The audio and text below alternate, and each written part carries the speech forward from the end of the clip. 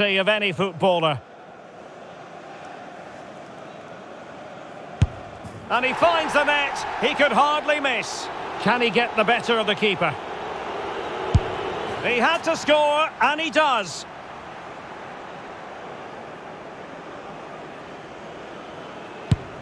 And that is when you need your goalkeeper. In it goes. Can he convert? Goalkeeper beaten from the spot. And there it is, perfectly executed.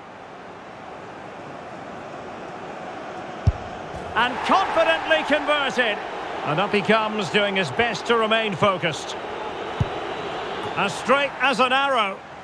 And so the tension levels have been ratcheted up to full blast.